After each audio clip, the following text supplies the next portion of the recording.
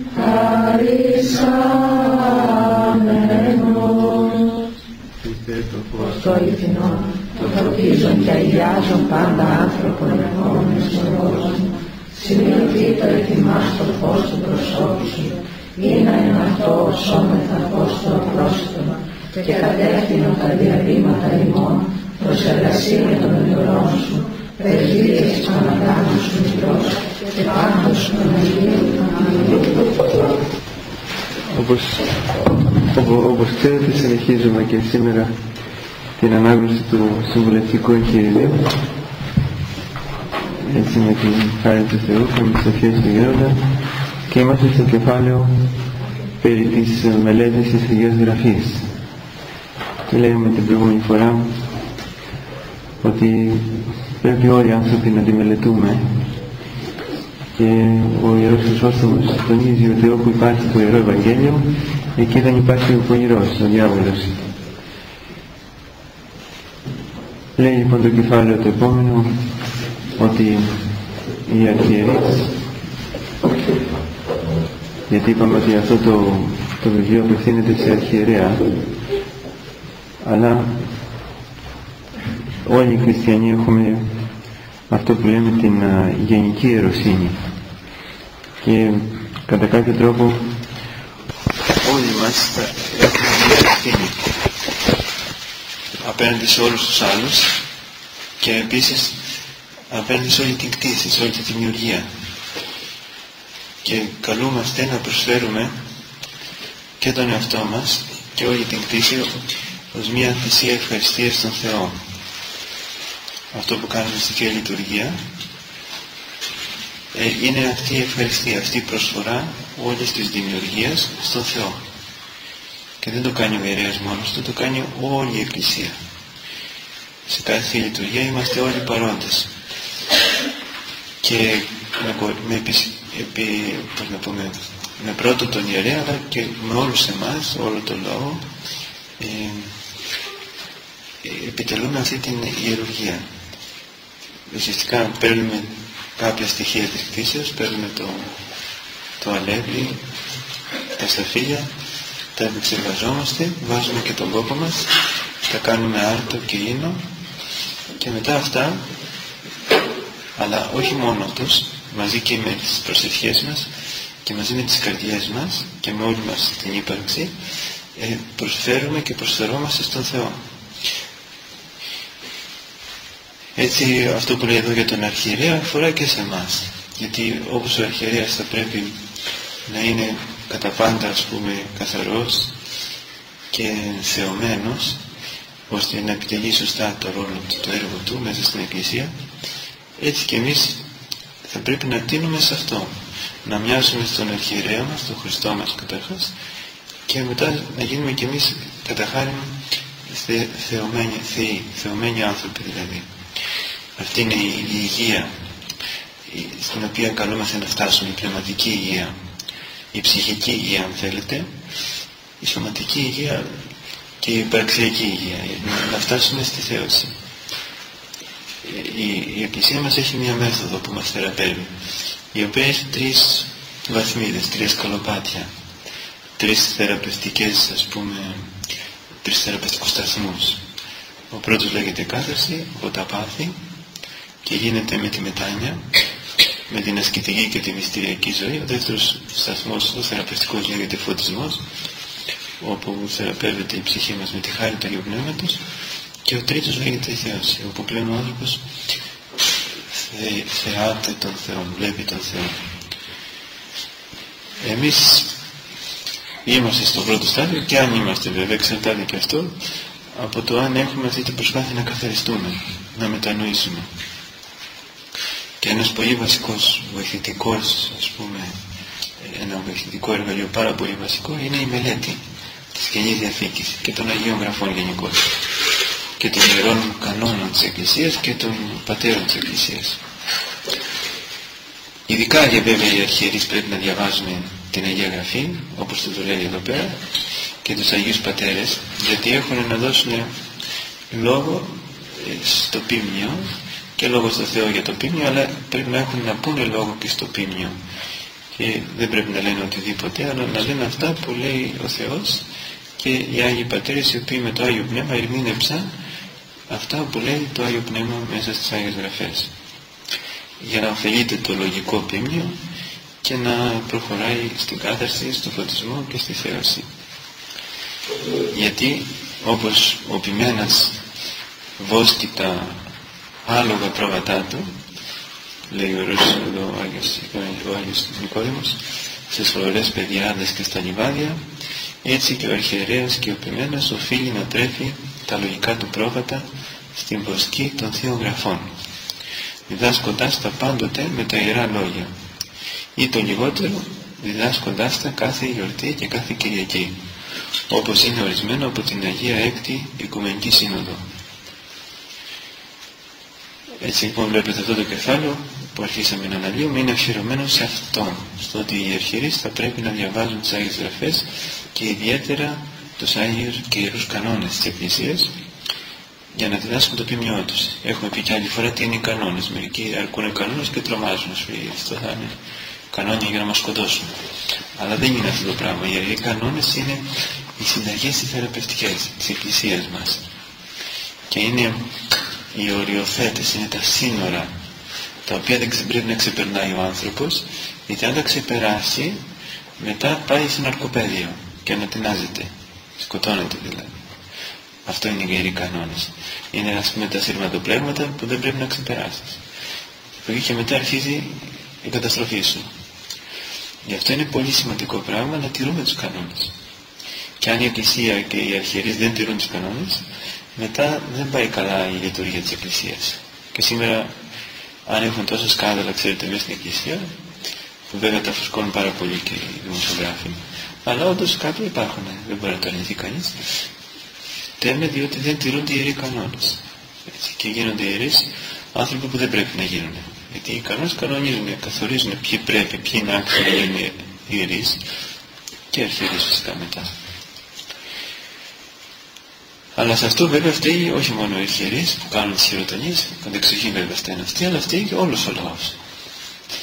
Διότι δεν ετοιμάζουν τα παιδιά ε, καταλήλως ώστε να υπηρετήσουν τον Θεό μέσα στην Εκκλησία. Έτσι όταν ακούσα από χριστιανούς υποτιθέμενους γονείς το παιδί μου τι παπάς θα γίνει; Ε, από εκεί και μετά όλα δεν δε λειτουργούν μέσα στην εκκλησία. Λέει λοιπόν ο 19ος κανόνας.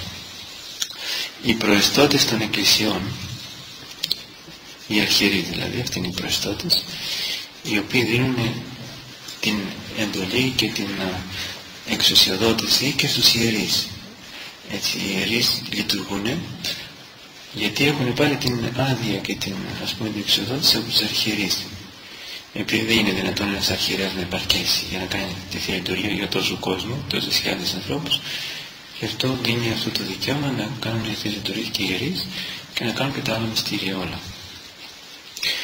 Οι προεστώτες λοιπόν των εκκλησιών, οι αρχιερείς και κατ' επέκταση πλέον τώρα και οι ιερείς γιατί είπαμε δεν μπορεί να είναι παντού ο αρχιερέας τις Κυριακές θα πρέπει κάθε μέρα και ιδιαίτερα τις Κυριακές να διδάσκουν όλο τον κλήρο και τον λαό τώρα μιλάω για τον επίσκοπο και τον κλήρο, τους ιερείς του δηλαδή θα πρέπει να τους διδάσκει ο επίσκοπος.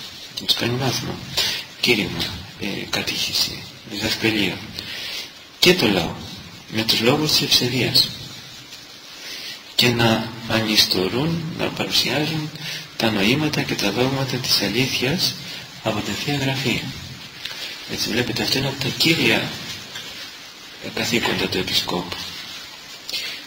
Βέβαια το πλέον σημαντικό καθήκον και διακόνημα είναι η Θεία Λειτουργία, το κορυφαίο.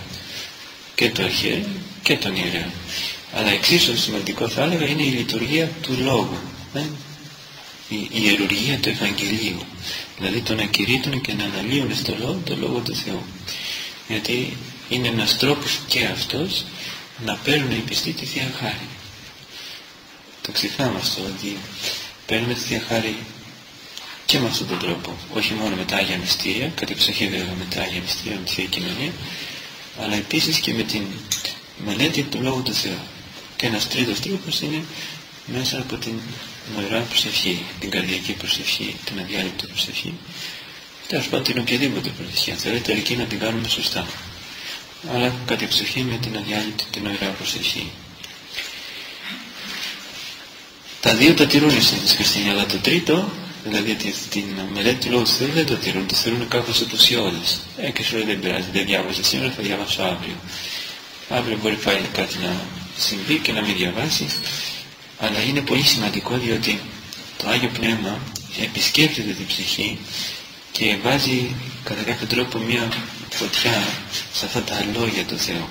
Και η ψυχή πυρακτώνεται από αυτή τη φλόγα του Αγίου Πνεύματος όταν υπάρχει το υλικό μέσα.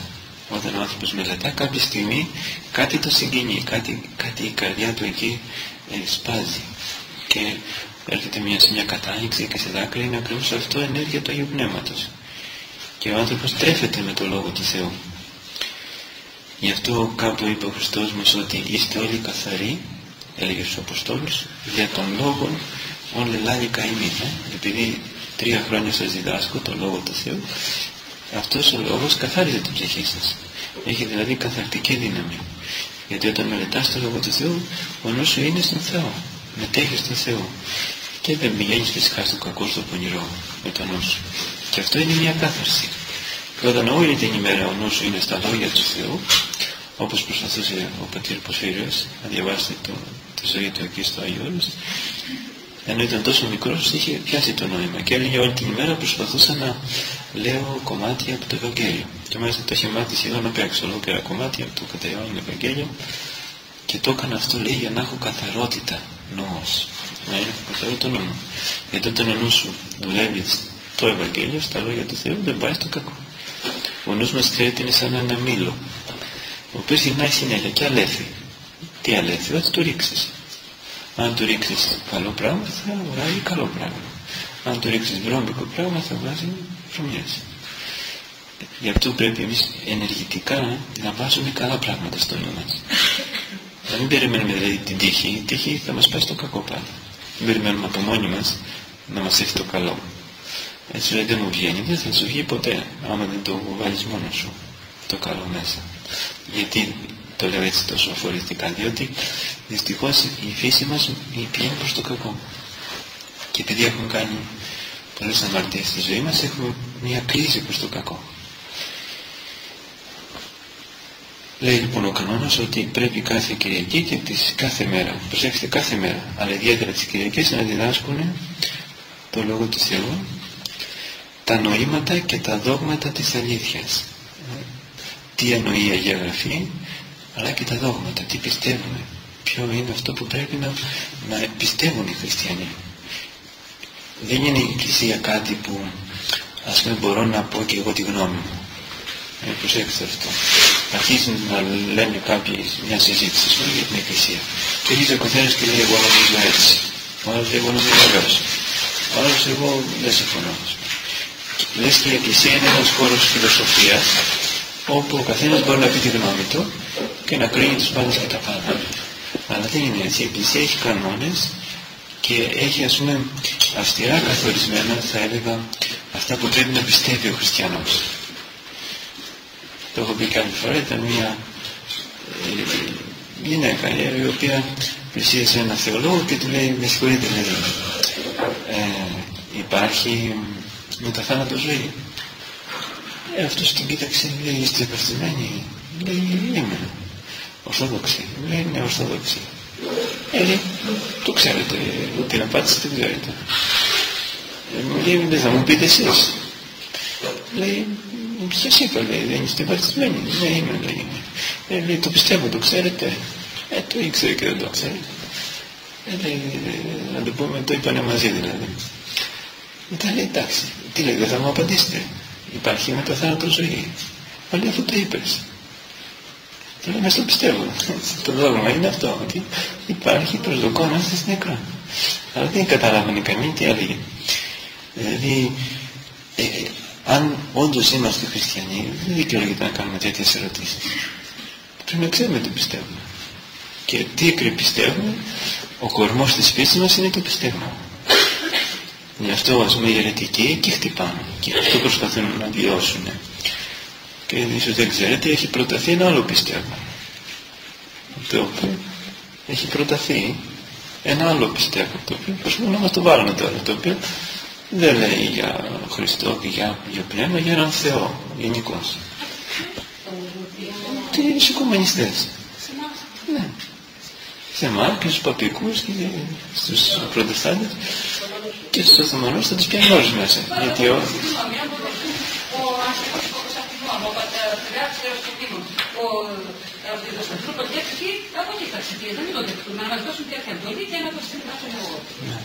Γι' αυτό πρέπει να τα ξέρουμε για αυτά όλα, το τι πιστεύουμε, γιατί τα πράγματα είναι ύπουλα, όντως είναι ύπουλα, ως προς το δόγμα.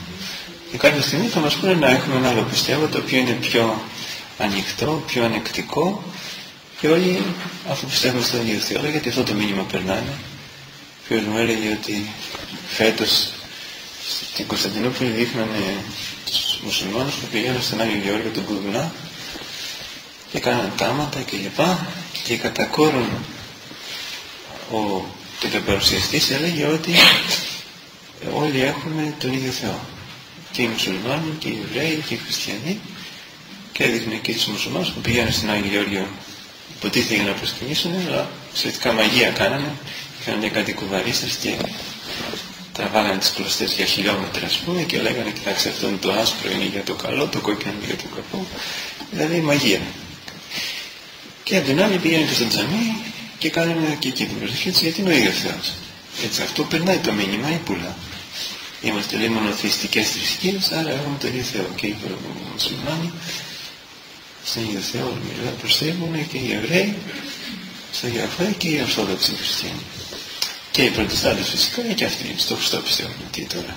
Μην τα μπερδεύουμε τα πράγματα, μην είμαστε, πώς να πούμε, αφοριστικοί και ε, διάφορες εκφράσεις τέλος πάντων, να μην κάνουμε κοινωνικό αποκλεισμό. Θα ακούσετε πολλά τέτοια, έτσι, ωραία, εύχα. Αλλά όλα αυτά είναι ύπουλα. Γι' αυτό πρέπει να γνωρίζουμε τι πιστεύουμε, για να ξέρουμε και να περασπιζόμαστε την πίστη μας. Γιατί θα πεις, είναι τόσο αναγκαίο το δόγμα, είναι τόσο αναγκαίο, σας είπα τι είναι το δόγμα. Το δόγμα δεν είναι μια θεωρία, το οποίο μας ήρθε, δεν ξέρω, κάποιοι το σκέφτηκαν και μας το έβαλαν το ζόρι πάνω στο κεφάλι μας, αλλά είναι η αποκαλυμμένη αλήθεια για τον Θεό.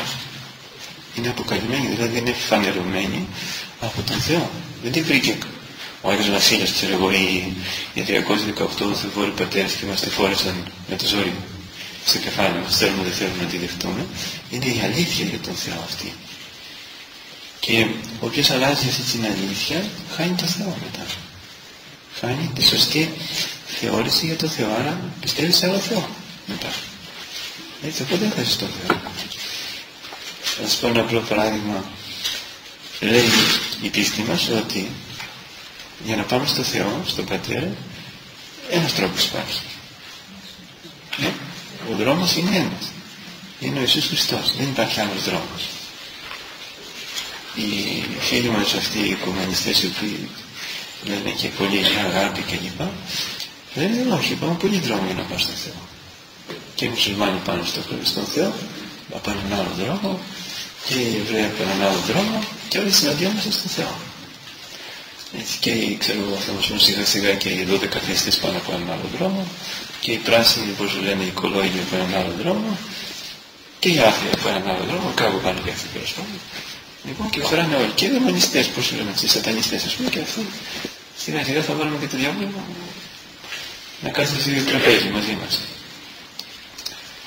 Λοιπόν, αυτά όλα όμως, άμα δεν τα έχουμε ξεκαθαρίσει μέσα μας, θα πέσουμε στην παγίδα, γιατί ακούγονται πολύ ωραία. Έτσι. Μιλάνε για αγάπη, για αλληλοκατανόηση κλπ. κλπ. Γι' αυτό οφείλουν οι αρχηρείς να κηρύττουν τα δόγματα. όχι μόνο να κάνουμε πούμε, ένα ηθικό κήρυγμα, ηθικιστικό, πρέπει να κάνετε αυτό το άλλο, αλλά πρέπει να γνωρίζει ο λαός και τα δόγματα. Και αυτό είναι καθήκον των αρχαίων, γι' αυτό βλέπετε, του λέει εδώ πρέπει να κηρύττεις και τα δόγματα της αληθείας. Το τι πιστεύουμε. Γιατί σας είπα, αν ξεπερνάμε τα δόγματα, είναι σαν να ξεπερνάμε τα σειρματοπλέματα και να πέσουμε σε ναρκοπαίδια. Και μετά χανόμαστε φυσικά, να ανατιναζόμαστε. Αν παραθεωρήσουμε τα δόγματα. Το δόγμα είναι η άλλη όψη της ζωής. Ε; Στην Εκκλησία έχουμε δόγμα και ήθος. Δηλαδή πίστη και ζωή. Το πώς ζούμε εξαρτάται από το τι πιστεύουμε. Αν λοιπόν αλλάξεις το τι πιστεύεις, αλλάζεις και τον τρόπο ζωής μετά. Ή, ή μπορεί να γίνει και ανάποδα. Όταν δεν προσέξεις και ζήσεις άτσαλα, ζήσεις αμαρτωλά, μετά για να στεγάσεις την κακή ζωή που κάνεις, φτιάχνεις και ένα λάθος δόγμα. Αυτό έγινε στη Δύση, στους τοπικούς. Ε; Επειδή δεν κάνουν σωστή ζωή, μετά φτιάξαν και λάθος δόγματα για να στεγάσουν αυτή τη λάθος ζωή που κάνουν. Θεωρητικά. Ε; Να έχουν και ένα θεωρητικό στήριγμα. Όπως και οι αρχαίοι Έλληνες. Ε; Ζούσαν όπως ζούσαν και φτιάξαν και τους θεούς κατ' εικόνα των παθών τους. Φτιάξαν την Αφροδίτη και κάτι τους εξυπηρετούσε να έχουν ένα τέτοιο θεό που θα αμαρτάνει. Ή τον Άρη, ας πούμε, ή τον Διόνυσο. Γιατί η ζωή τους τέτοια ήταν. Δηλαδή και αμαρτίες και τέτοια. Σου λέει αφού έχουμε και θεούς τέτοιους που τα κάνουν αυτά, άρα είμαστε εντάξει. Σήμερα κάνουμε και κάτι άλλο έτσι, πιο έξυπνο, ξέρετε τι κάνουμε, έξυπνο το θεωρικό. Φτιάχνουμε επιστημονικές θεωρίες που καλύπτουν τις αμαρτίες μας. Όπως η θεωρία του Φρόιντ. Σου είναι επιστήμη. Η επιστήμη δεν μπορεί να αφιλητήσει, εντάξει, τη θρησκεία δεν αφιλητήσαμε. Αλλά την επιστήμη και έρχεται ο Φρόιντ και σου λέει, κοίταξε, είναι επιστημονική γνώση. ότι πρέπει ο άνθρωπος να ικανοποιεί τις ορμές του, γιατί αλλιώς θα αρρωστήσει. Και όμως στην, η αλήθεια είναι το τέλος αντίθετο. Αλλά ο άνθρωπος προσπαθεί να βρει άλοθη. Και σήμερα έχει πέρασει η επιστήμη, δουλεύει με αυτό το άλοθη, το επιστημονικό. Στα πρόχριστο χρόνια είχε πέρασει η θρησκεία, έψαχνε ένα άλοθη μέσω της θρησκείας, για να μαρτάνει. Οι προστότες λοιπόν των εκκλησιών θα πρέπει κάθε μέρα, προσέξτε κάθε μέρα, ε, οι πρώτοι χριστιανοί κάθε μέρα είχαν κήρυγμα. Και ήταν δίπλα γύρω γύρω από τους Αποστόλους και άκουγαν, ε, ήταν προσκαρτερώντας λέει το βιβλίο των πράξεων των Αποστόλων, τη διδαχή και τη κλάση του άρτου και τις προσευχές προς καρτερό θα πει μένω συνεχώς ακούω καρτερικά, υπομονητικά παραμένω εκεί σε τι, στη διδαχή, τη διδασκαλία, στο κήρυγμα στην κλάση του άρτου. Η κλάση του άρτου δεν είναι το φαγητό όπως έχει ερμηνευτεί σε μερικές καινές διαθήκες λάθος είναι λάθος σε μερικές μεταφράσεις ότι είναι το φαγητό, το κόψιμο του ψωμιού δεν είναι αυτό η κλάση του άρτου είναι η θεία κοινωνία και στις προσευχές, στις δεήσεις. Και έτσι ήταν η ζωή τους. Ο Κύριος κορμός της ημέρας ήταν η Θεία Λειτουργία, το κήρυγμα και οι προσευχές. Και μετά κάναμε και ό,τι άλλο κάναμε.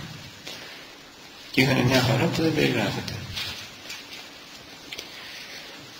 Κάθε μέρα λοιπόν και ιδιαίτερα τις Κυριακές να διδάσκουν όλο το κλήρο και τον λαό με τα λόγια της ευσεβίας και να ανιστορούν τα νοήματα και τα δόγματα της αλήθειας.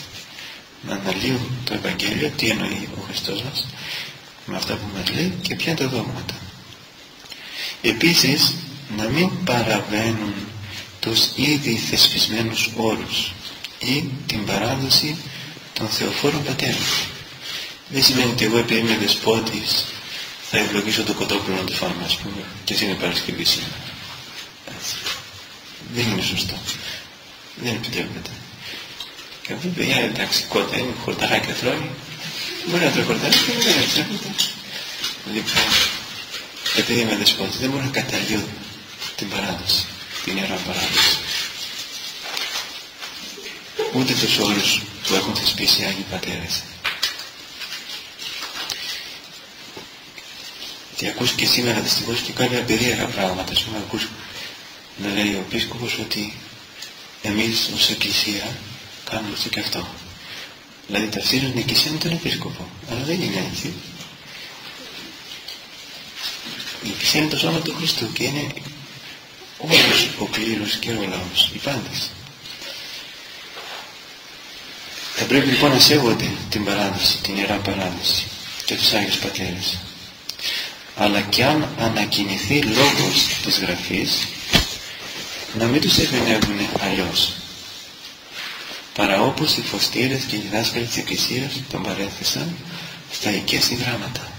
Έτσι. Γράφει κάτι το Ευαγγέλιο. Πώς θα το εξηγήσει ο Επίσκοπος. Όχι όπως του ήρθε, όπως νομίζει αυτός. Εγώ νομίζω έτσι. Γιατί έτσι κάνουν προτιστάντες. Παίρνουν την Αγία Γραφή και σου λέει εγώ έτσι νομίζω έτσι με φώτισε Θεός. Έχει και αυτό το, το θράσος, την ανέργεια να λέει το φώτισε Θεός. Και το εξηγώ έτσι. Όχι, δεν το εξηγήσω όπως θέλεις. Θα το εξηγήσω όπως το εξήγησε ο Ευρώς Χρυσόστομος, ο Μέγας Βασίλειος, ο Άγιος Γεώργος ο Θεολόγος. Δεν το ξέρεις, θα ψάξεις να το βρεις. Θα πεις με σίγουρο ότι δεν ξέρω, θα κοιτάξω και θα σας πω πώς εξηγείται αυτό. Να μην τον ερμηνεύουν λοιπόν αλλιώς, αλλά όπως μας παρέδωσαν οι διδάσκαλοι και οι πατέρες Εκκλησίας. Γιατί οι λαοί με τη διδασκαλία των προαναφερθέντων πατέρων γνωρίζοντας τα σπουδαία και ερετά, δηλαδή αυτά που πρέπει να προκρίνουν να προτιμούν και τα ασύμφορα και τα απόβλητα και αυτά που πρέπει να αποστρέφονται και να υποβάλουν ρυθμίζουν τη ζωή τους προς το καλύτερο. Θα πρέπει να δεις υγιή τροφή στο λαό, όχι οτιδήποτε. Ώστε και ο λαός μετά να αποκτάει κριτήρια και να ξέρει τι είναι το υγιές και τι είναι το σάπιο, το άρρωστο. Και να δέχεται και να αποδέχεται και να παίρνει το υγιές και να αποβάλει το σάπιο. Πρέπει να δίνουμε σωστά κριτήρια στο λαό, να ξέρει τι θα διαλέξει. Κυρίως όμως πρέπει να μελετάς παντοτινά τους θείους και ιερούς κανόνες, τους αποστολικούς, τους συνοδικούς και τους πατερικούς και αυτούς σχεδόν να αναπνέεις και να τους γνωρίζεις απ' έξω. Γιατί αυτή είναι το πιδάλιο με το οποίο πρόκειται να διαχειρίζεσαι σαν αρχιερέας τις εκκλησιαστικές υποθέσεις της επαρχίας σου. Έτσι. Πιδάλιο είναι το τιμόνι του καραβιού. Το καράβι είναι η εκκλησία. Έτσι. Είναι η ναύση. Όπως ήταν η κυβωτός του Νόη. Έτσι είναι τύπος της εκκλησίας. Και εκεί μέσα υπάρχουν όλοι. Τα ζώα, όλοι οι άνθρωποι, όλοι οι κτήσεις, όλοι. Σωζόμαστε όσοι είναι μέσα στην κυβωτό σώζονται. Όσοι είναι μέσα στην εκκλησία. Όσοι δηλαδή πιστεύουν σωστά και ζουν σωστά. Αυτή είναι μέσα στην εκκλησία. Ε. Όχι μόνο αυτοί που είναι εγκαταστημένοι. Μπορεί να είσαι εγκαταστημένος και να έχεις παιδί έξω από το καράβι. Και υπάρχει και ο καπετάνιος. Ο καπετάνιος είναι επίσκοπος. Ο οποίος πρέπει να κάνει σωστή διακυβέρνηση. Και για να κάνει σωστή διακυβέρνηση πρέπει να ξέρει τους κανόνες πλεύσης. Οι κανόνες πλεύσης είναι οι κανόνες της Εκκλησίας. Οι αποστολικοί, δηλαδή οι κανόνες των Αποστόλων αυτοί, από το 30, το 40, το 50 μετά Χριστό. Και των πατέρων και των συνόδων. Ε? Πρώτη, δεύτερη, εφτά οικουμενικές συνόδοι. Και αυτά λέει να τα αναπνέεις, γιατί αυτά ακριβώς είπαμε είναι θεραπευτικές συνταγές. Σαν ένας γιατρός να μην ξέρει ας πούμε πώς θεραπεύονται αρρώστιες. Αυτό σημαίνει να μην ξέρει ένας αρχιερέας τους κανόνες της Εκκλησίας.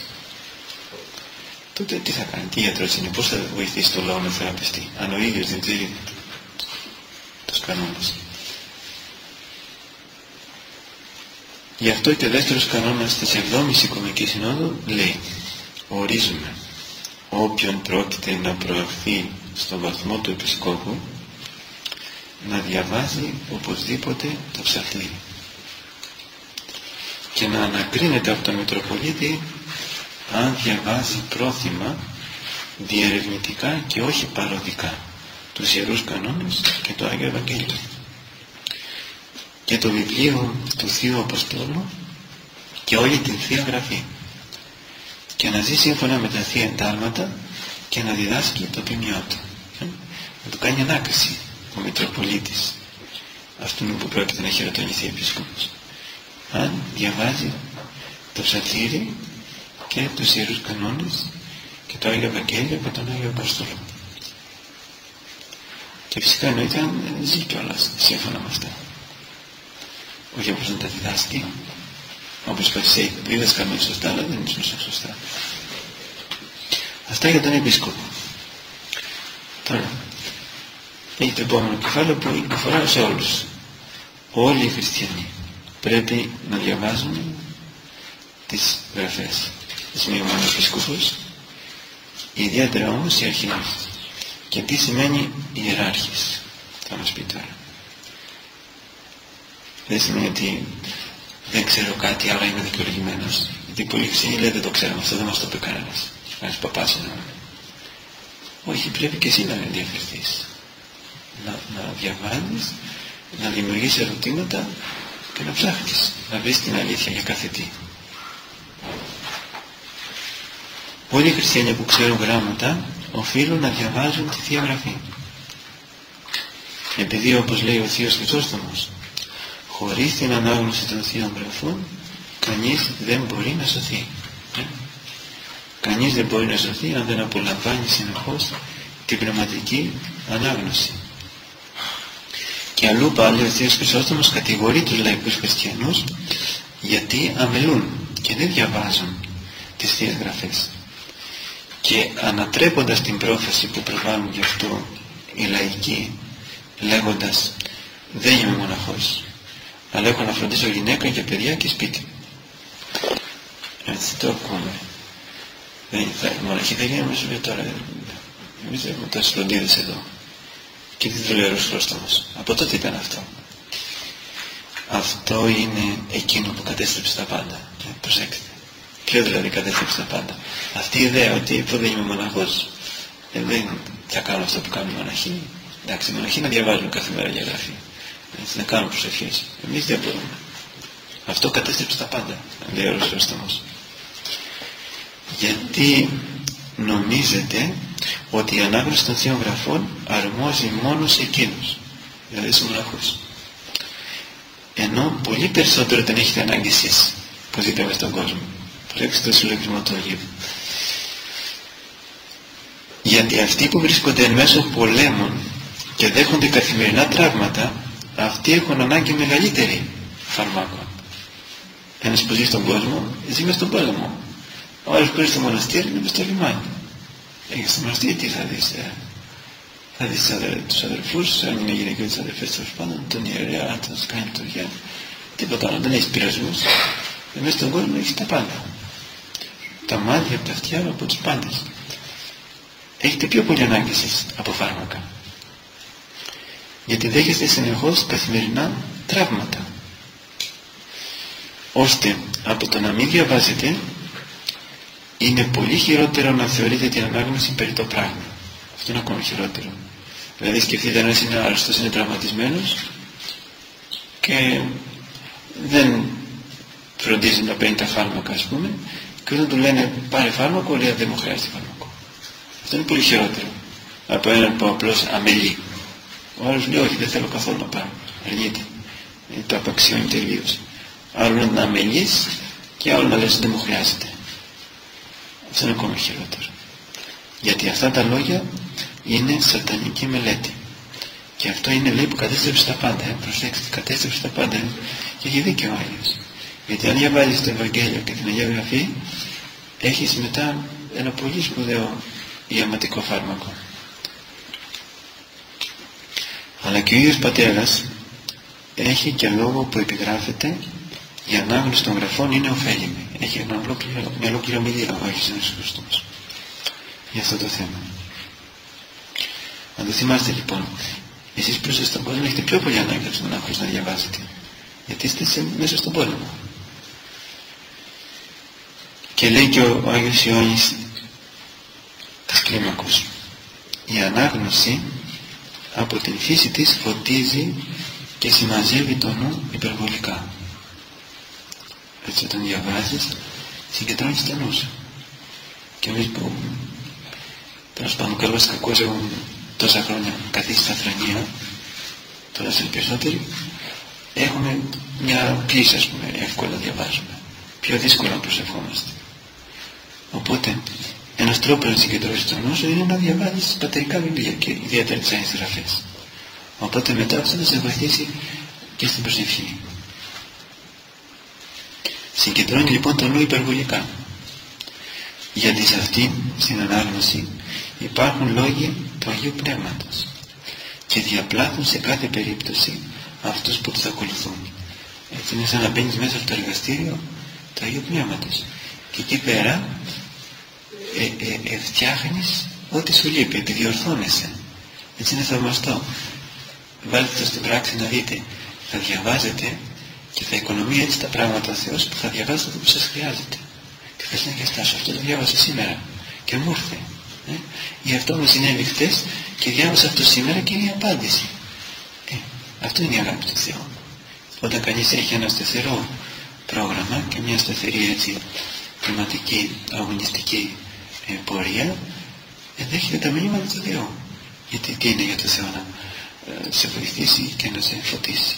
Αρκεί και εσύ λίγο να κουνήσεις το χέρι σου να πας κοντά του. Αυτό ακριβώς θέλει ο Θεός. Και ο Άγιος Εφραίμ λέει όπως η σάλπικα σε καιρό πολέμου ηχεί και διεγείρει την προθυμία των γενναίων αγωνιστών κατά των εχθρών έτσι και οι Θείες Γραφές διεγείρουν την προθυμία σου στο αγαθό και σε κάνουν δυνατό κατά των παθών. Όπως η σάλπικα στους πολέμους. Παρακινεί τους στρατιώτες να ρηχτούν στη μάχη και τους ενθαρρύνει ώστε να νικούν τους εχθρούς. Έτσι και η ανάγνωση των γραφών είναι σαν μια πνευματική σάλπικα τους λέει ξύπνα, σήκω και πολέμα και αν σας κάνει με αυτό που λέμε ακιδεία και βαρεμάρα και αναπεξία πνευματική θα πρέπει να διαβάζετε. Να διαβάζετε την Αγία Γραφή τους Άγιους Πατέρες, τα συναξάρια και θα δείτε πόσο θα μπαίνει μέσα στην ψυχή σας αγωνιστική διάθεση.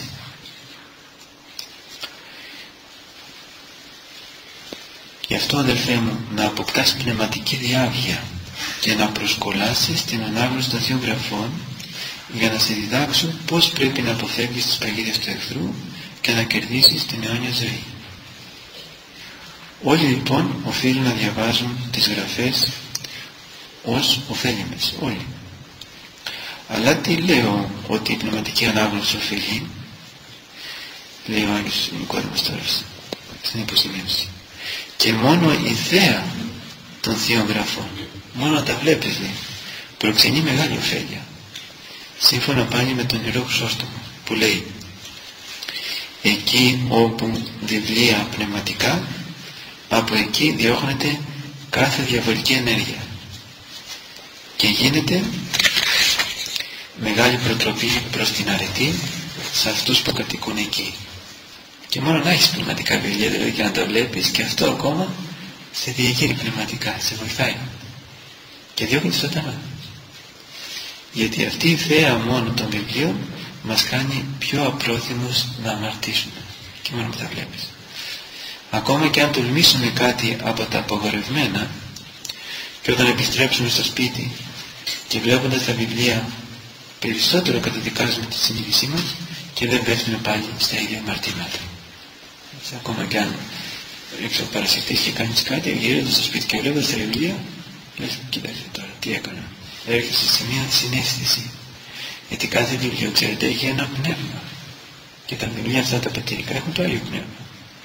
Αντίθετα, αν έχει βιβλία κοσμικά, έχουν το πονηρό πνεύμα. Γι' αυτό να μην έχετε βιβλία τέτοια στο σπίτι σας, προσέξτε. Ούτε περιοδικά κοσμικά να βάζετε. Αυτά φέρνουν δαιμόνια μέσα στο σπίτι. Και δαιμονιάζουν και εσάς και τα παιδιά και τους πάντες. Κάθε βιβλίο που πνέει το πνεύμα που έχει ο συγγραφέας που το έχει γράψει. Όταν λοιπόν βλέπεις αυτά τα βιβλία τα πνευματικά, έρχεσαι σε συνέστηση, συνέστηση καταδικάζεις τη συνείδησή σου και δεν πέφτεις πάλι στα ίδια αμαρτήματα. Ούτε και οι εφημερίδες ακόμα δεν θα να παίρνετε. Γιατί και αυτές τι πνεύμα έχουν.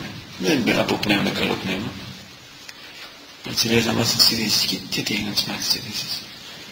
Ο Άγιος Νικόδημος λέει οι είδησες του κόσμου να είναι για σένα σαν να είναι παράγωγμα. Δεν σε ενδιαφέρουν οι είδησες. Εδώ λένε οι πατέρες και το κακό σαν όνομα ακόμα να μην το μαθαίνεις, να μην το ξέρεις, ούτε σαν όνομα. Να γίνεις εφημερίδες δηλώσεις και μάθεις όλα τα εγκλήματα, όλες τις ιδιότητες, όλα αυτά. Τι σου ωφελούν όλα αυτά; Σε αναστατώνουν την ψυχή και την καρδιά και σε αμολύνουν και σου φέρνουν ένα σωρό κακές αναμνήσεις και λοιπά και λοιπά. ότι η εφημερίδα η μόνη αλήθεια που δεν είναι η θάνατη, οι κηδείες λέει και οι γάμοι, τίποτα. Άρα λέει όλα τα χρόνια. Όντως. Και σήμερα ακόμα περισσότερο. Όλα αυτά τα μέσα μαζικής ενημέρωσης ουσιαστικά είναι μέσα μαζικού ψεύδους θα έλεγα. Μαζικής παραπλάνησης, πέστε το καλύτερα. Γιατί είναι στα χέρια ε, των ανθρώπων οι οποίοι δεν είναι καλοί άνθρωποι, έτσι, υπονομεύουν την ανθρωπότητα. Ναι. Τα ξέρουμε ότι όλα αυτά είναι τράστας που είναι πολυεθνικές πίσω από όλα αυτά τα οποία αφήνουν να περάσει σαν είδηση ότι αυτοί θέλουν. Και επειδή δεν είναι άνθρωποι του Αγίου Πνεύματος, είναι του Πονηρού Πνεύματος, περνάνε ότι θέλουν θέλει το Πονηρό Πνεύμα. Γι' αυτό και μας λανσάρουν συνέχεια με την ομοφιλοφιλία και ένα σωρό άλλα πράγματα διαστραμμένα. Και για να διαβάζετε τις εφημερίδες και τελειώσεις και λες, α, όλος ο κόσμος είναι τέτοιο, ας πούμε, ή θέλουν αυτό το πράγμα. Άρα, δεν είναι έτσι. Δεν είναι έτσι όλοι οι άνθρωποι. Μας δίνει μια ψεύτικη εικόνα του κόσμου δηλαδή. Για να μας πάνε εκεί που θέλουν αυτοί. Γι' αυτό λοιπόν να έχουμε τέτοια πνευματικά βιβλία. Και θα συνεχόμαστε ακόμα πέτα από αδυναμία πέφτουμε. Αν πάλι ζούμε με ευσέβεια, λέει ο Ρώσος Χρόστομος, παίρνουμε μεγαλύτερο ωφέλη από εκεί. Γιατί πάντα υπάρχει περιθώριο ανώδου πνευματικής. Δεν μπορεί να πεις τώρα έφτασα, φτάνει ας πούμε. Δεν φτάνει. Πάντα η αρετή έχει κι άλλο. Μπορείς να πας και πιο ψηλά.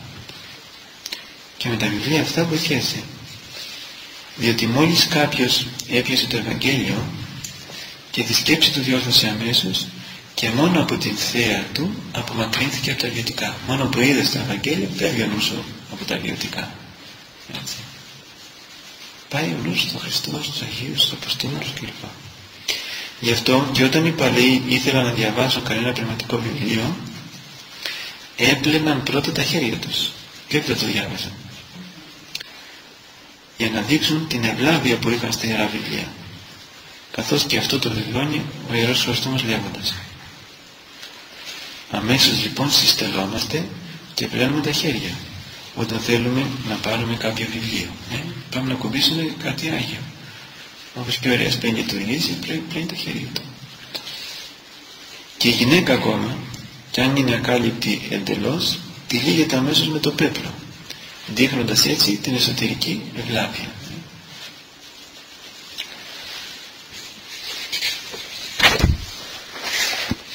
Όλοι λοιπόν οφείλουν να διαβάζουν τις γραφές ως ωφέλιμες και θα έλεγα καθημερινά.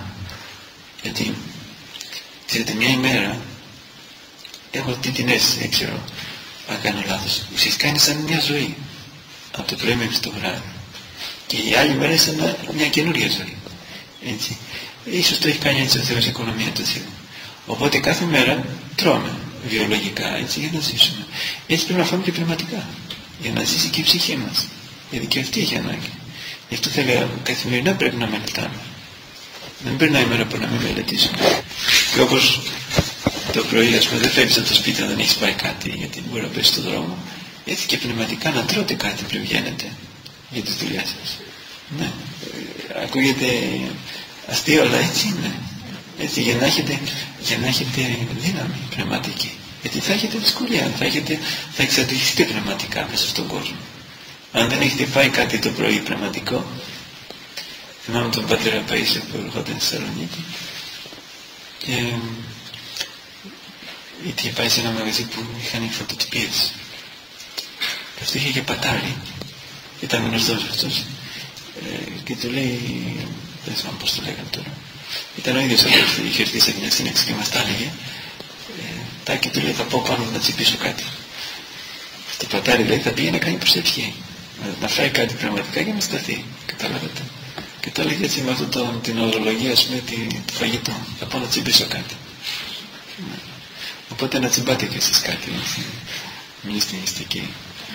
Όταν βγαίνετε, αλλά και, και μέσα στην πορεία, μέσα στην πόλη, μπείτε σε μια εκκλησία, μια στιγμή που περνάτε απ' έξω. Ξέρετε πώς θα ανανεωθεί η ψυχή σας, εκεί στο τρέξιμο της πόλης μέσα. Ανάψτε ένα κράχη, κάντε ένα σταυρό. Φυγήστε με εικόνα. Θα πάρει πολύ δύναμη η ψυχή σας.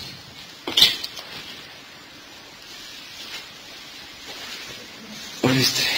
Δεν Νίκος.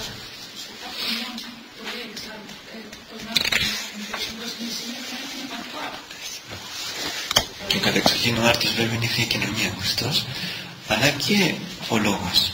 Πάλι ο Χριστός είναι ο Λόγος. Ε, δεν είδατε τι είδε λέξη έχουμε, Λόγος. Ο Υιός και ο Λόγος του Θεού είναι ο Χριστός. Και είναι ο άρτος. Αλλά είναι και ο Λόγος. Το Ευαγγέλιο δηλαδή είναι πάλι η ψωμί που τρώμε και μας στερεώνει πνευματικά. Πρέπει λοιπόν όλοι και ιδιαίτερα οι ιερωμένοι και κληρικοί και μάλιστα οι αρχιερείς να μελετούν τις Άγιες Γραφές. Γι' αυτό και από τη μία ο Άγιος Παύλος γράφει τον Ιεράρχη Τιμόθεο, τον μαθητή του, που ήταν επίσκοπος.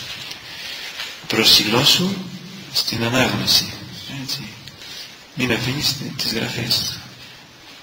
Και ο Θεοφόρος Ιγνάτιος παραγγέλει το ίδιο στον Ήρωνα. Ήταν ένας διάκος, διάκονος της Αντιοχίας.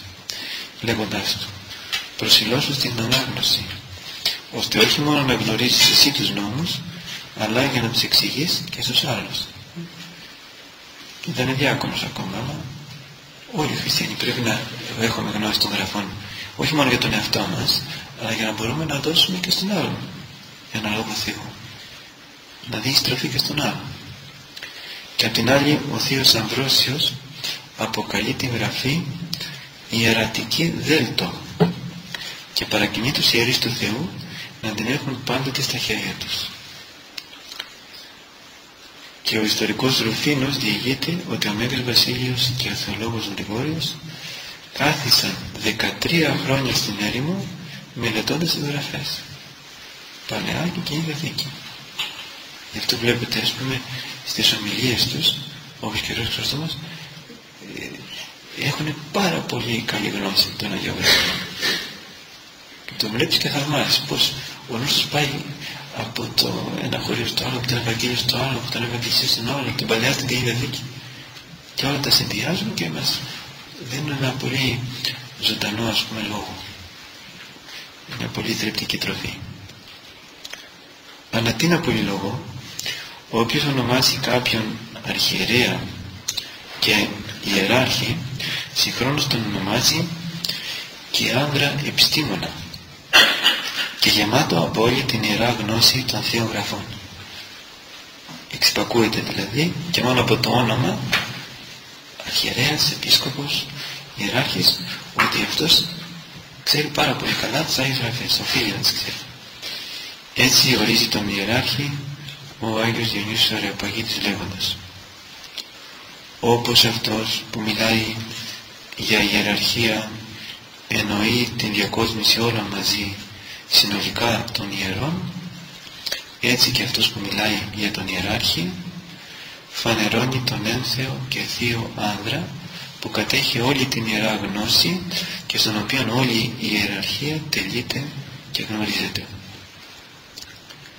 Και σύμφωνα με την παράδοση της Εκκλησίας μας, ο ιεράρχης είναι ο άνθρωπος ο θεωμένος που έχει φτάσει θεός, έχει κάνει την κάθαρση στην καρδιά του, τα πάθη, έχει φωτιστεί από τα Πνεύμα και έχει φτάσει να έχει και τη θεώση.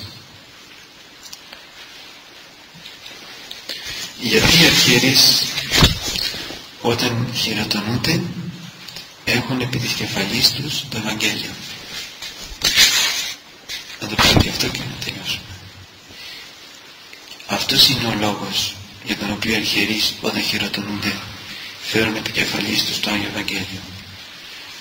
Όχι μόνο για να μάθουν ότι ακόμα και αν έγιναν επικεφαλής των άλλων, ωστόσο και αυτοί υπόκειται στους νόμους του Ευαγγελίου και βρίσκονται κάτω από άλλη εξουσία όπως λέει ο Ιερός Χρυσόστομος. Γι' αυτό όταν θα τύχετε σε χειροτονία επισκόπο να το δείτε αυτό μπαίνει ο αρχιερέας που χειροτονείται κάτω το Ιερό Ευαγγέλιο. Γιατί; Επειδή λέει ο Ιερός Χρυσόστομος ο αρχιερέας ήταν κεφαλή του λαού έπρεπε αυτός που γινόταν κεφαλή όλων να έχει πάνω το κεφάλι του την εξουσία. Μόνο δεν έχει κανένα πάνω το κεφάλι του γιατί η απόλυτη αυθεντία είναι αφόρητη. Μετά γίνεται τυραννία ένας ας πούμε παγκόσμιος δικτάτορας θα είναι τύραννος δεν θα έχει κανένα πάνω το κεφάλι του Αν όμως έχει από πάνω της το σύμβολο της εξουσίας, υπάγεται στον νόμο. Διατάζει λοιπόν η κεφαλή να μην είναι γεμνή αλλά και καλυμμένη για να μάθει έτσι η κεφαλή του λαού ότι έχει και αυτή κεφαλή. Και ο αρχιερέας δηλαδή δεν είναι δεσπότης, τύραννος, ο οποίος είναι πάνω από όλους, αλλά έχει από πάνω του και αυτός άλλον. Έχει το Ευαγγέλιο, ε, έχει το Χριστό. Έχει και αυτός κεφαλή. Γι' αυτό δεν μπορεί να παραθεωρεί αυτά που λέει η κεφαλή, ε, ο Χριστός. Επειδή εγώ είμαι τώρα στη θέση του Χριστού. Αυτό λέει ο Πάπας, ε, φοβερό. Εγώ είμαι λέει ότι πρόσωπος του Θεού στη γη. Λοιπόν, εγώ κόβω και ράβω. Κάνω τι θέλω. Αυτό είναι η μεγάλη εγωισμός, η μεγάλη περηφάνεια. Η μεγάλη πτώση. Η κεφαλή λοιπόν έχει πάνω της άλλη κεφαλή και αυτή είναι ο Χριστός.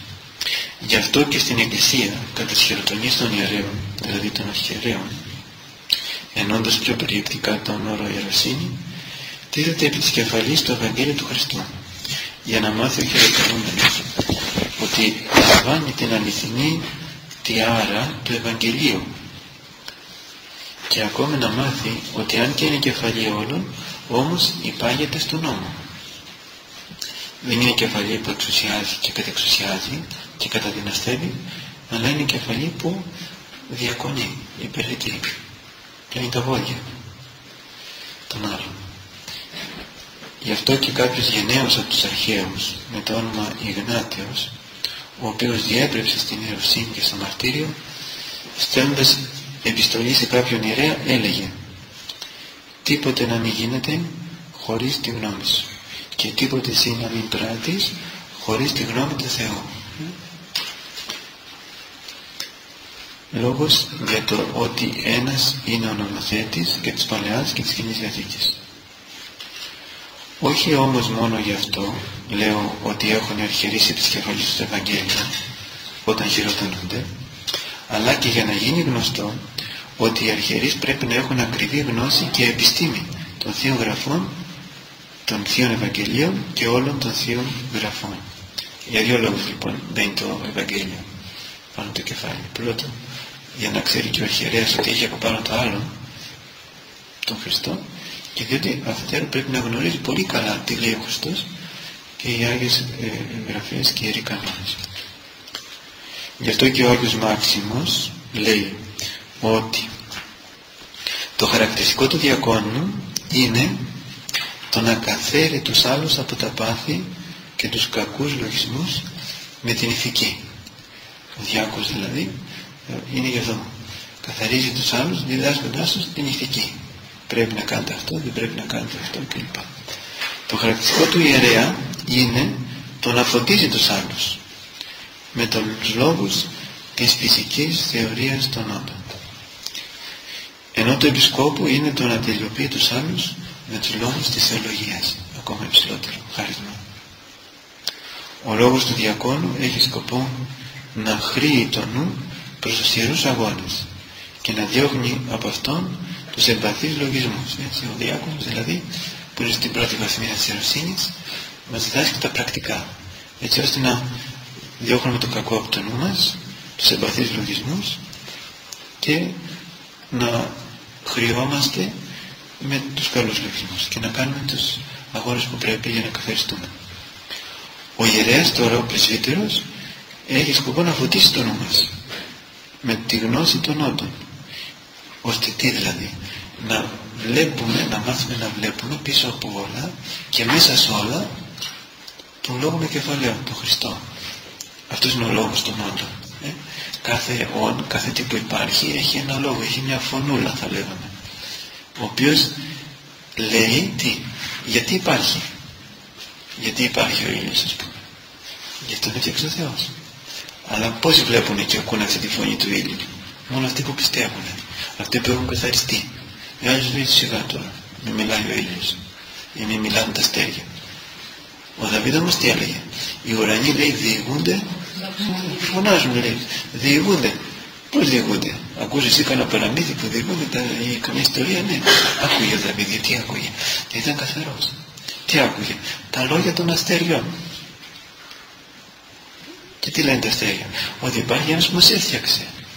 Και ένας ο οποίος θα μας, ε, στον οποίο πάμε και για τον οποίο υπάρχουμε. Και αυτός ο ένας είναι ο λόγος με κεφάλαιο λάμδα, ο Χριστός. Γιατί όλα γίνανε για τον Χριστό. Ο Πατήρ δια του Υιού, ευπνεύματι Αγία, επίησε τα πάντα. Και αυτό λένε όλα τα όντα. Αλλά τη φωνή την ακούνε μόνο αυτοί που έχουν καθαριστεί. Και μετά φωτίζονται από τους ιερείς. Οι ιερείς λοιπόν, γιατί τελικά όλα θα μεταμορφωθούν μέσα στο Χριστό. Στην δεύτερη παρουσία θα γίνει αυτό που λέμε η ανακαίνιση. Όλα θα είναι καινούργια. Και λέει, δεν πέταξε όλα, λέει, ε, μόνο τον Χριστό τον άφησε θέτα το αρχηγό στην Εκκλησία. Έτσι, όλα τα έδωσε κάτω. Οπότε, μέσα στην Εκκλησία. Τίποτε λοιπόν, ε, και, συγγνώμη, και ο λόγος του, του ιερέας λοιπόν είναι για να φωτίζει το νου μας με τη γνώση των όντων και να εξαφανίζει την ψευδή γνώση. Ποια είναι η ψευδής γνώσης. Αυτά που λένε ας πούμε οι αυτοί οι επιστήμονες που λένε ότι όλα αυτά υπάρχουν έτσι, τυχαία μέσα σε εκατομμύρια χρόνια φτιάχθηκαν όλα όλο το σύμπαν άντε φτιάξει μέσα σε εκατομμύρια χρόνια ένα ρολόι μπορείς ναι και όμως λένε αυτά τα πράγματα. Εδώ ένα ρολόι αν πει σε κάποιο παιδάκι ότι ξέρει αυτό φτιάχτηκε μόνο το παιδί μέσα σε εκατομμύρια χρόνια συναρμολογήθηκαν ξέρω εγώ τα πλαστικά του, οι δείχτες του κορδίστηκε και δουλεύει. Έτσι τέλεια. Δεν τους πει χαζώσεις το παιδάκι. Αυτό λένε αυτοί που λένε ότι όλα αυτά γίνανε τυχαία από μια αρχαίγονη σούπα, ας πούμε, τα είχα γύρω. Ναι, είναι το Big Bang, αλλά το Big Bang κάποιος το κάνει και το Big Bang, έτσι, πώς έγινε, μόνο του.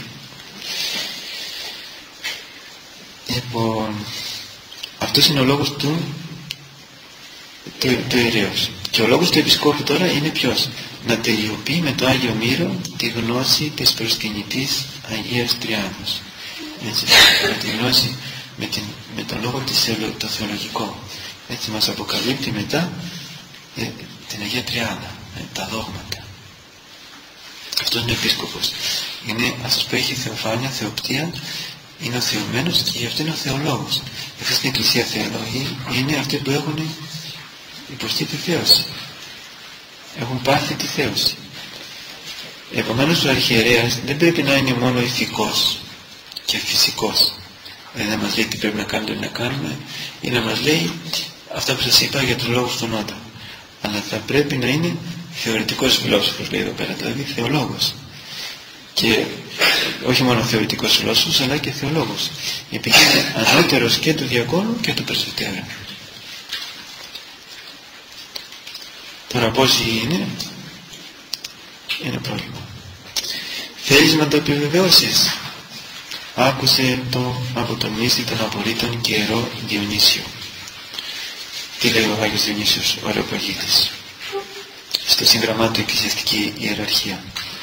Σαν ξεχωριστό, ο ιεράρχης έχει την ιερότατη επίθεση των λογίων πάνω στο κεφάλι. Τα λόγια είναι τα Ευαγγέλια. Έτσι. Το ξεχωριστό λοιπόν που έχει, έχει ο ιεράρχης είναι αυτό ότι το βάζουμε πάνω στο κεφάλι του το Ευαγγέλιο. Ο σκοπός είναι ο θεόμορφος ιεράρχης, προσέξτε πως τον λέει θεόμορφο, ε, ότι έχει τη μορφή του Θεού. Δηλαδή μοιάζει στον Θεό, έχει φτάσει στο καθομοίωση. Είναι θεωμένος. Και ο σκοπός που του βάζουμε το Ευαγγέλιο, πάνω το κεφάλι του, είναι να κοινωνήσει ακέραια όλη την ιεραρχική δύναμη από τον Χριστό. Γιατί ο Χριστός είναι ο, ο κατεξοχήν αρχιερέας. Και από εκεί παίρνουν και οι αρχιερείς τη φώτιση και την εξουσία. Γι' αυτό το βάζουμε πάνω από τον Χριστό. Το Ευαγγέλιο είναι ο Χριστός. Και όχι μόνο να φωτιστεί με την αληθινή και θεοπαράδοτη παρά, επιστήμη όλων των ιεραρχικών ιερολογιών και ιερουργιών, αλλά και να μεταδώσει και σε άλλους την ιεραρχική τους αναλογία και να πελεσιουργήσει με τις θεϊκότατες γνώσεις και ανυψώσεις στις κορυφές ιεραρχικά τις ιερότατες τελετές όλης της ιεραρχίας. Έτσι και μπορεί και ο αρχιερέας μετά να μεταδίδει το χάρισμά του και να κάνει και αυτός ιερείς και αρχιερείς. Και ο Άγιος Ισίδωρος Επιλουσιώτης λέει και με αυτό τελειώνουμε ο ιερέας του Θεού επειδή αγγίζει τον Θεό όπως τα πολιώματα ζώα τα χειροβήμα, τα πολιώματα οφείλει και ο ιερέας να είναι ολόκληρος οφθαλμός όπως και εκείνα χωρίς να αγνοεί τίποτα. Έτσι να είναι ή δυνατόν τα λέγουμε παντογνώστης. Ε; Να έχει παντού μάτια και να ξέρει τα πάντα και να βλέπει τα πάντα. Επειδή λοιπόν αγνοείς μάθαινε με προσύνια. Διάβαζε και άκου διδασκαλία χωρίς να ας πούμε ανυπομονείς και να αντιδράς και να δυστημείς. Λέει ο Άγιος Σίδωρος στην επιστολή του σε έναν επίσκοπο ονόματι Ευσέβιο. Γιατί πρέπει να είσαι γνώστης όλων, να είσαι σαν τα χειρουργία, όλος μάτια. Πρέπει να είναι μοιραίος. Που σημαίνει και να έχεις εγρήγορση, αλλά και γνώση πνευματική. Γιατί οφείλεις να καθοδηγήσεις και τους ανθρώπους, το οποίο είναι το λογικό στη σωτηρία. Αυτά ήθελα να σας πω σήμερα. Αν έχετε κάτι να συζητήσουμε για λίγο,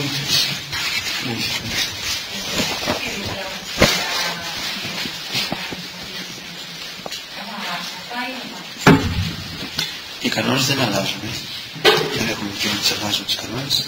Τα παιδιά δεν έχουν αλλάξει, αλλά στην πράξη πολλές φορές δεν τηρούνται.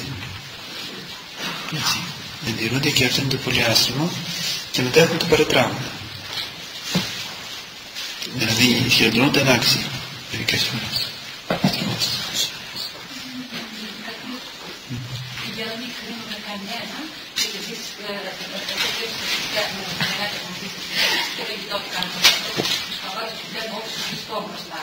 αν αυτός είναι ανάξιος, είναι για τον εαυτό και θα τον εαυτό. Γιατί αν αρχίσω με εκείνος ανάξιος, άλλος ανάξιος, θα πάσουν τελική. Οπότε όλοι οι ιερείς είναι Χριστός στη γη. Έτσι. Θυμάστε την ιστορία με τον Άγιο Βασίλειο που πήγε κάποιος πιστός και του λέει εγώ δεν ξαναπατάω στην εκκλησία. Και λέει γιατί, διότι λέει αυτός ο παπάς εκεί πέρα έχει κάνει φόνο. Του λέει ο Μέζος Βασίλειος κάνω τη χάρη μια φορά ακόμα να έρθεις. Και μετά μην ξανάρθεις. Πράγματι ήρθε, του λέει θα προσέξεις τι θα, τι θα δεις. Και περίμενε τον ιερέα, πήγε πριν από τον ιερέα. Και βλέπει τον ιερέα που ερχόταν φορτωμένος με ένα πτώμα. Το άφησε έξω από την εκκλησία το πτώμα, μπήκε μέσα, δίθηκε τη στολή του κανονικά για τη λειτουργία, όλος ήταν ας πούμε φωτεινός και βγαίνοντας έφαγε τα άφια και ξαναφορτώθηκε το πτώμα. Του λέει κατάλαβες, κατάλαβα. Δηλαδή μέσα στην εκκλησία ο, ο ιερέας ό,τι και να είναι επικαλεί το μυστήριο γιατί πρέπει να διακονήσει το λαό και ο, ο αρχιερέας ο Χριστός μας τον κάνει άξιο εκείνη την ώρα να λειτουργήσει εφόσον η Εκκλησία δεν τον έχει καθαρίσει έτσι αν τον καθαρίσει η Εκκλησία μετά δεν μπορεί να λειτουργήσει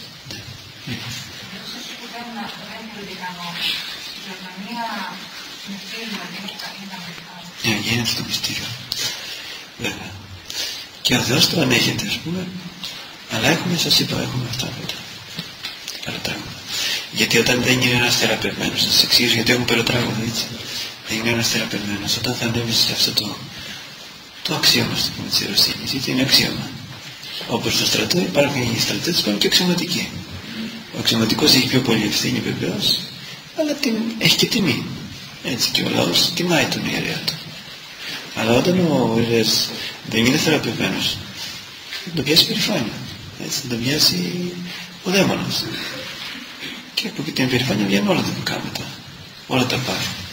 Και αυτά τα πάθη είναι που τελεπορούν μετά και δημιουργούν τα σκάνδαλα. Καταλαβαίνετε.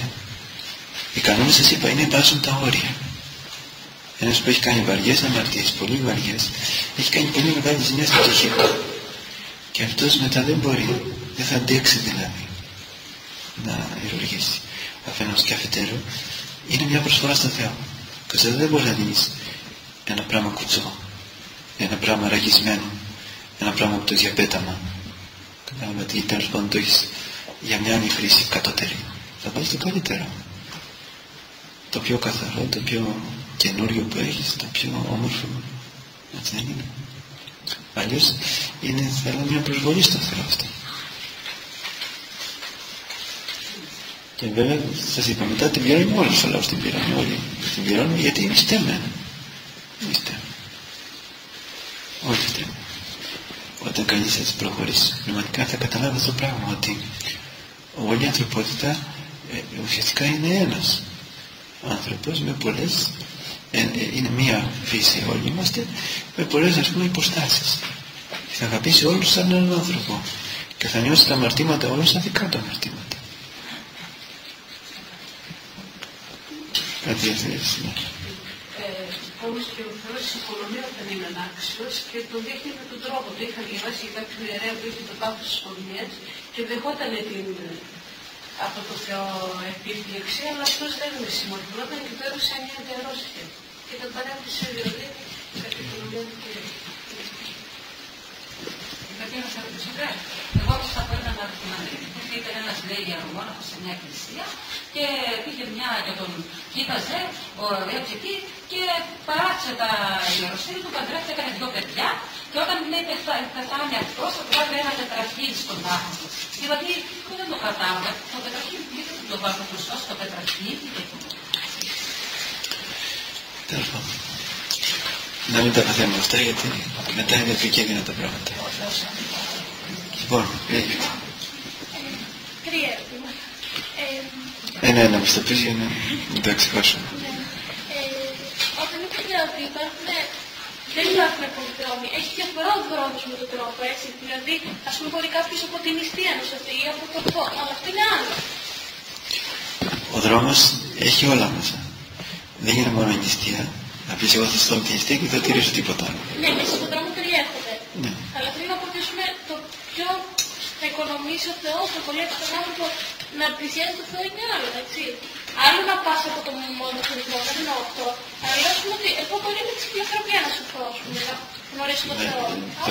Κοίταξε, ναι, αλλά όχι μόνο με τη φιλοθραπεία. Σε έναν βαθμό θα τα καταφέρεις όλα. Μπορεί να γίνεις πιο ας πούμε ανεβασμένη στη φιλανθρωπία να προχωρήσει πιο πολύ στη φιλανθρωπία σε σχέση με έναν άλλον ο οποίος θα προχωρήσει πιο πολύ στην προσευχή ας πούμε. Έτσι. Έχεις άλλο χάρισμα εσύ. Αυτό δεν σημαίνει ότι και εσύ δεν θα κάνεις προσευχή ή ότι δεν θα προσέχεις. Ναι, δεν θα κάνεις νηστεία ή ότι δεν θα είσαι ηθική επειδή κάνεις φιλανθρωπία θα είσαι ας πούμε ανήθικη, δεν επιτρέπεται. Ναι, ε, υπάρχει ας πούμε σε κάθε άνθρωπο και πρέπει να το ξέρετε αυτό μία ας πούμε ροπή προς κάτι Δηλαδή άλλος έχει πιο πολύ ροπή στην φιλανθρωπία, άλλος έχει πιο πολύ ροπή στην προσευχή, στην ησυχία. Άλλος έχει στη φιλοξενία. Ό,τι βλέπεις καλό μέσα σου, καλλιέργησέ το. Αυτό λένε οι πατέρες. Ναι, αυτό που βλέπεις, το καλό όμως, έτσι όχι το κακό. Και καλλιεργώντας αυτό, δεν θα αφήσεις και τα άλλα βέβαια, αλλά αυτό που, που σου έρχεται πιο εύκολο, καλλιέργησέ το, ανάπτυξέ το. Και καλλιεργώντας αυτό θα έρθουν και τα άλλα. Έτσι αυτό τώρα βάζει νηστερό στο γερωτικό. Κοιτάξτε αυτό που έχεις εσύ. Ο Άγιος ε, Μωυσής ο Αιθίωπας ήταν φιλόξενος και σώθηκε. Έκανε τραπέζιο πολλά κλπ. Έπαιρνε κόσμο. Ε, χαιρόντουσαν οι άνθρωποι. Αλλά είχε και φασαρία βέβαια. Έτσι όταν έχεις πολύ κόσμο σε παίρνει και το κεφάλι καμιά φορά με τις πολλές κουβέντες κλπ. Όμως σώθηκε. Γιατί είναι αγάπη αυτό. Δεν σημαίνει ότι δεν έκανε προσευχή και ησυχιασμό, έκανε και αυτό. Αλλά λιγότερο. Ο Άγιος Αρσένιος δεν δεχόταν κόσμο. Έτσι μέχρι και ένας δεσπότης που πήγε κάποτε και του λέει πες μου ένα λόγο, δεν μιλούσε εκείνος. Λέει πες μου, δεν μου πεις ένα λόγο, λέει κάτι να μου πεις. Και λέει όπου ακούς Αρσένιο να φεύγεις. Λοιπόν, σαν λέει σηκωφίγια. Εντάξει. Ναι, ήταν άλλος τύπος. Αλλά και αυτός δόθηκε. Γιατί το έκανα από αγάπη για το Θεό. Έτσι. Δεν σημαίνει ότι δεν αγαπούσε τον επίσκοπο. Τον αγαπούσε. Αλλά σου λέει τώρα πιο πολύ αγαπώ το Θεό, θέλω να δυνάμει με το Θεό. Όχι ότι δεν σε θέλω και εσένα. Λοιπόν, έτσι καλλιεργείς αυτό που έχεις εσύ το χάρισμα και χωρίς να παραθεωρείς και τα άλλα και θα πας καλά. Γιατί δεν είμαστε όλοι το ίδιο. Βλέπετε, δεν μας έκανε όλους τους φωτοκόπιες, καλκομανίες και όπως το λέμε αυτό. Ε, τώρα το λέμε θα είναι κλωνοποιημένος αυτό. Δεν μας έκανε κλωνοποιημένος. Μας έκανε πολύ μορφούς. Ο καθένας είναι μοναδικός. Και μοναδικός δηλαδή στην αιωνιότητα. Δηλαδή δεν υπήρξε άλλος άνθρωπος όπως υπάρχετε εσείς τώρα. Ούτε θα υπάρξει. Στα δισεκατομμύρια των ανθρώπων που έχουν περάσει. Αυτή είναι η ομορφιά του Θεού. Αυτό δεν κάνεις στρατιωτάκια και κουτάκια, ας πούμε. Μόνο όπως κάνουμε εμείς οι πολυκατοικίες μας και όλα αυτά.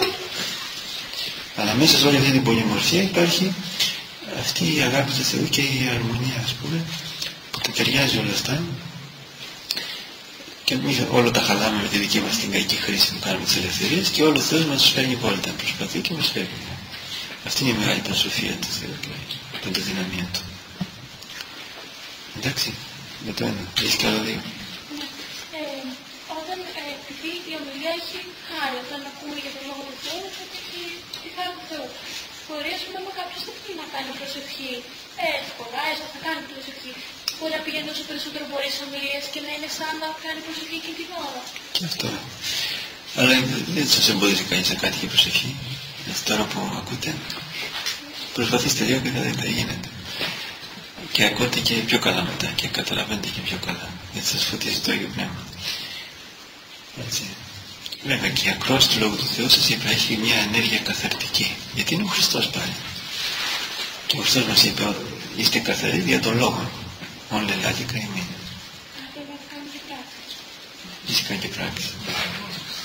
Ναι, μην νομίζουμε ότι επειδή τα ακούσαμε τα κάναμε κιόλας. Είναι και αυτό μια παγίδα. Ε. Ακούσαμε ωραία πράγματα, τα καταλάβαμε αλλά στην πράξη τι κάνουμε; Ναι. Βέβαια αυτό είναι πολύ βασικό. Πού πας λέγομαι Κύριε Κύριε. Εισελεύσεις στη ραχή του λένε, αλλά ο οποίος θέλει με το πατρό. Όχι αυτός που μου λέει Κύριε Κύριε, αλλά αυτός που κάνει το θέλει με το πατρό. Και όταν επειδή είπατε ότι οι γυναίκες ακόμα για να δείξουν την ευλάβειά του και άλλα όταν έπαιρνε τα ιερά, και αυτά μπορούσαν να Πρέπει όμως και να προσέχουμε τη στάση μας. Όλα, όλα βοηθάνε. Γιατί εκεί είσαι μπροστά στον Χριστό. Πάντα είμαστε μπροστά στον Χριστό. Πάντα πρέπει να προσέχουμε τη στάση μας. Έτσι. Πειράζει, ας πούμε, δεν πειράζει. Και αυτό ευκαιρός ευκαιρός, επαντή τόπο και καιρό, να διαβάζουμε και να προσευχόμαστε. Έτσι. Αλλά μπορούμε να το κάνουμε και με πιο ας πούμε τρόπο ευλαβία το κάνουμε. Ναι, και τα δύο. Πάντα πρέπει να προσευχόμαστε. Πάντοτε. Ναι. Και το τροφάρι είναι η μελέτη του περίπου που έχουν θεωτό και δογματικά και τέτοια θα δεν οφειλούν. Όλα αυτά. Ό,τι έχουμε μέσα στην Ιερά Παράδοση, όλος ο λειτουργικός μας πλούτος είναι θησαυρός. Γιατί όλα αυτά είναι γραμμένα με το Άγιο Πνεύμα. Ενώ βλέπετε, ας πούμε, αυτά που έχει ο λαός. Κάποιοι λένε ότι και αυτά είναι σπουδαία. Αλλά δεν τα έχει βάλει η Εκκλησία μέσα. Δεν ξέρω εγώ τώρα τα μυρολόγια της Παναγίας, ξέρω εγώ στο Σταυρό κλπ. Δεν τα έχουμε στην παράδεισή μας. Κάποιοι μοντέρνοι ξέρω εγώ θεολόγοι λένε όχι και αυτά είναι πολύ σπουδαία, σχεδόν είναι η ίδια με την Ιερά Παράδοση. Δεν είναι έτσι όμως. Η Εκκλησία ξέρει τι βάζει μέσα. Σαν Άγια Βιβλία. Ούτε τα απόκριφα βάλαμε μέσα στην παράδοσή μας, ούτε ξέρω εγώ τα στιχάκια που γράφουν κάποιοι έτσι από ευλάβεια δεν ξέρω τι τα γράφω. Δεν μπορούν να γιοποιούμε τα πάντα. Δεν ασχολούνται με το Χρήστο και Ευαγγέλιο, ασχολούνται με το απόκριφο. Ναι, για να... Ακούμε κατά Θεούς από αρχιερείς, τους πόπους, οι άλλες ομολογίες. Δεν υπάρχουν άλλες ομολογίες. Δεν υπάρχουν. Μπορεί να το λέει και από αφέλεια, δυστυχώς. Ή λένε οι άλλες εκκλησίες. Δηλαδή πόσες εκκλησίες θα φτιάξει ο Χριστός, για με συγχωρείτε. Πόσα κεφάλια και πόσες σώματα έχει ο Χριστός. Έτσι δεν είναι. Είναι λάθος, είναι άστοχο. Όπου λένε, ξέρω, το σχίσμα. Δεν είναι σχίσμα. Έρεση είναι. Ο παπισμός είναι αίρεση, δεν είναι σχίσμα. Σχίσμα είναι όταν υπάρχει μια διαφορά διοικητική. Είναι διαφορά στο δόγμα με τον παπισμό. Είναι αίρεση. Είναι λάθη εκφραστικά, αλλά μερικές φορές είναι και σκόπιμα. Έτσι. Το κάνουν βίτσιδες. Γιατί θέλουν να περάσουν τα δικά τους μηνύματα ότι υπάρχουν και άλλες εκκλησίες, τη θεωρία των κλάδων, και τη θεωρία των κλάδων, έτσι, που λέει ότι όλες οι πιστείς έχουν και κομμάτι της αλήθειας και να τις μαζέψουμε όλες, όλα τα κλαδιά, να φτιάξουμε ένα δέντρο για να μαζέψουμε τη σωστή πίστη, να έχουμε τη σωστή πίστη. Έχουμε ένα κομμάτι της αλήθειας εμείς, ένα οι προτεστάντες. Εμείς βέβαια μας αναγνωρίζουν ότι έχουμε το μεγαλύτερο κομμάτι, το πιο Το πιο σπουδαίο κομμάτι. Ναι, δεν είναι κομμάτι πάλι. Ναι, Αυτή είναι η θεωρία του κράτους. Αυτοί προωθούν οι προτεστάντες. Αυτή είναι τη θεωρία προωθούν οι προτεστάντες. Θα θεωρείτε θα τα ξέρετε και θα τα ακούσετε. Θα τα λέμε στις τηλεοράσεις, θα μας κάνουν πίσω κεφάλαιο αυτά. Να μην βλέπετε.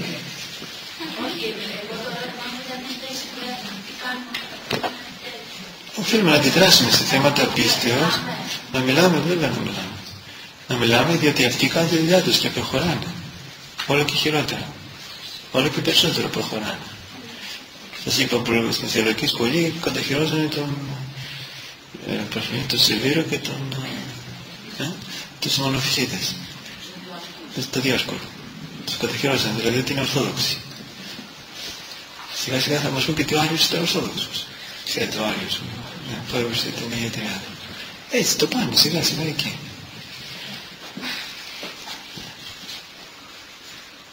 Λοιπόν, εντάξει.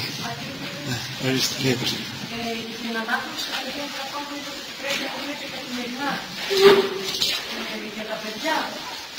Αυτό εκεί και πρέπει να ξεκινάει και αντί εκδόσεις που κυκλοφορούν παιδιές, οποίες είναι ιδιαίτερα για τα παιδιά, από πού είναι σωστό να το διαβάζουμε; Να τους κάνεις ένα τέτοιο εισιτήριο όταν μπορούν μόνο τους να διαβάσουν για από το πρωτότυπο; Ε, κοιτάξτε, η Εκκλησία τι κάνει; Το κριτήριο μας είναι η Εκκλησία. Η Εκκλησία από ποια ε, ηλικία δέχεται τα παιδιά μέσα; Την πρώτη στιγμή. Στην Λοιπόν, την πρώτη στιγμή αρχίζει να χορτογραφώνει. Θα πεις δεν καταλαβαίνει. Ε, καταλαβαίνει. Καταλαβαίνει, ξέρετε τι καταλαβαίνει, τι χάρη. Η καρδιά του είναι ανοιχτή, είναι όριμη η ψυχή του. Μπορεί ο νους του να μην είναι ακόμα διαπλασμένος, απόλυτα όριμος, αλλά η καρδιά είναι, η ψυχή είναι. Και εισπράττει τη Θεία Χάρη. Όπως και εισπράττει και τη δαιμονική χάρη, αν το πούμε χάρη, δεν πάντα το πούμε χάρη. Το δαιμονικό σκοτάδι. Όταν το στείνεις μπροστά στην τηλεόραση, το γεμίζεις στη μαυρίλα μέσα στην ψυχή του. Το δαιμονίζεις στο παιδί. Λες δεν καταλαβαίνει. Μια χαρά καταλαβαίνει η καρδιά. Μπορεί η διάνοια να μην καταλαβαίνει. Οπότε πρέπει για αυτή την στιγμή. Πάρε το κατομοράκι, βάλε το εκεί δίπλα στην κούνια του να ακούει και αυτό. Θα πεις τι ακούει, ακούει. Παίρνει τη χάρη μέσα στην ψυχή του. Ξέρετε τι ωραία που κοινωνάνε τα μωρά. Με τη χαρά κοινωνάνε. Όσο είναι από ευλαβείς οικογένειες, τα παρατηρώ. Μια χαρά όσα είναι από οικογένειες άσχετες, μόνο που δεν στο πετάνε, δεν στο φτύνουν τη Θεία Κοινωνία. Γιατί είναι δεμονισμένα τα κακόμοιρα, μην σας σοκάρει ο όρος. Έτσι είναι. Έχουμε το άλλο πνεύμα. Γιατί αν δεν έχεις το Άγιο Πνεύμα, το άλλο πνεύμα θα έχεις. Δεν μπορεί να μείνεις να έχεις κάτι, θα έχεις. Αν δεν είσαι στο φως, το σκοτάδι θα έχεις. Ο φωνηρός καραδοκεί, να αρπάξει ψυχές. Για τις παιδικές εκδόσεις θέλει προσοχή, γιατί όλα δεν είναι σωστά. Έχω διαπιστώσει ότι πολλά είναι λάθος τα μηνύματα που περνάνε στα παιδιά. Και θέλει διάκριση. Αν δεν έχετε, ρωτάτε το πνευματικό σας. Δεν είναι όλα Άγια. Ε, σας είπα, έχουμε αγιοποιήσει την παράδοση και δεν ξέρω τι άλλο και το... Δεν είναι όλα Άγια.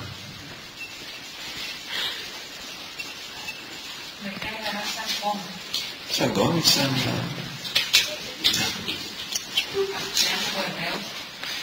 Θέλει προσοχή. Πολύ.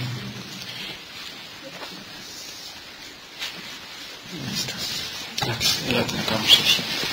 Δόξα Πατρί και Υιό και Πνεύμα και νίκαιη και σώνη στον αιώνα. Αμήν. Χριστός ανέστη